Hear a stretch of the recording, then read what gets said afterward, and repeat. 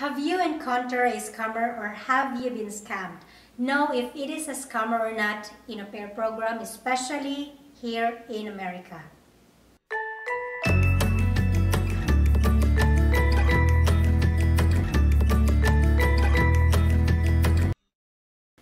Are everywhere. Every opportunity this world can offer, everything you can think of, scammers are there. And they can be avoided because they are parasite and dangerous. Why? Because they offer no benefit in return. They only think of your money, which is their main goal, not you, but your money alone. Anyway, I knew someone who was scammed. Like we're not talking about hundreds of pesos here, but hundreds of thousand pesos were scammed. And they had to sell their property to pay for application and no one is to blame because we all know how desperate are we to help our family gets out of poverty and the scammers are taking advantage of the situation i just feel sad for her and to victims of the scamming even in the au program, scammers are present. A group of uh, people pretend to be a host family while the rest agency. Before I came here in America, I registered all au pair sites and guess what? Same as what you had experienced I had to go through in the hands of scammers before I found my host family. Imagine how much time and effort I spent to reply these scammers, believing the possibility that they are legit host family. Imagine how many au pair application I sent to different scammers and now I don't have any idea if they're using my identity to scam host families. So frustrating that I came to the point of giving up I'm done. I stopped entertaining host families and thought that America is not meant for me. But you know, my faith increases and my dreams never stop. That uh, maybe once in my lifetime I'm able to visit America. And yes, it happened. I'm new in America. Okay, move on. Two tips to know if it is a scammer or not in au pair program. Only two so that it will be easy for you to remember. Number one, video call. Every host family or any overseas employer, whatever job position being offered, will spend at least 30 minutes or less to interview their applicants. That's how they know if their applicant is worthy of the position offered, especially to the host family the life of their kid is at risk. They have to evaluate first before making a decision if they're interested in you to be part of their family. Scammers will communicate you through email, not video call. Why? Because no scammers would want to be discovered or to be caught. Easy as that. So legit host family will never allow someone to live with them they don't know. A legit host family will not forward you directly to the partnered agency without meeting you in person or through video call.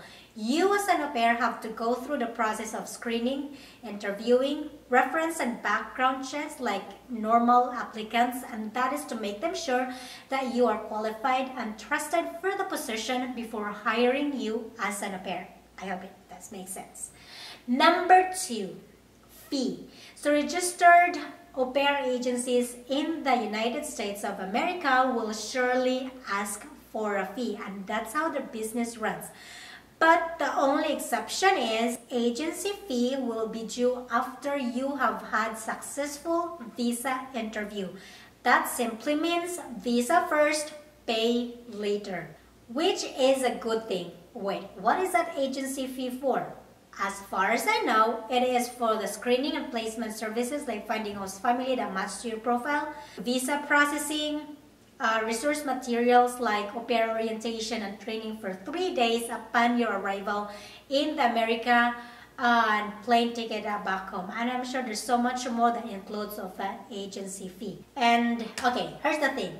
So once the family decided to get you as their au pair, after video call and matchmaking, they will forward you to the agency they are under with and it is the agency's responsibility to take a review on your host family's application, sending you all the requirements that needed for the preparation of your visa. And they focus on your application to make sure that you meet all the paperwork needed before your visa interview and before your departure. And as far as I'm concerned, registered agencies in the United States will not ask money from you while your au application is under processing, not until your visa is granted or 30 days prior to your arrival in the United States. That means successful visa interview, visa granted, got the stamp on your passport, and waiting for your flight date. I hope it does make sense to you when to pay for the agency fee,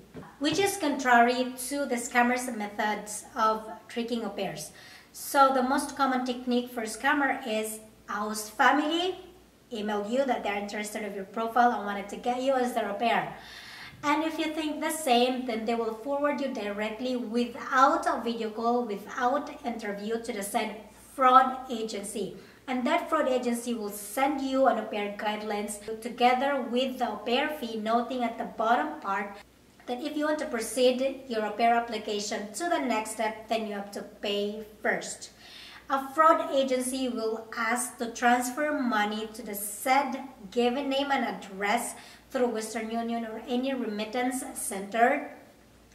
And every paperwork they'll send you has an exchange amount of money. Like they will not ask you to pay full au pair fee charge, but one at a time until they have had enough of your money or you lost everything. So know the difference between pay first before requirements and a visa first, pay later. So this trick had happened to me before coming here in America and I'm pretty sure that you had experienced what I experienced, receiving lots of emails from fraud host families and agencies and it's uh, frustrating and tiring. And if you are bored, why not try to make fun of them since they're fooling you, fool them back like I did. And I hope you're not one of those who are victimized by the scammers. And I hope you learned something from this video. And uh, please share this video to other au pair for them to be aware of if they're applying in America. And thanks for watching. And please don't forget to click the subscribe button below. Bye. Ciao.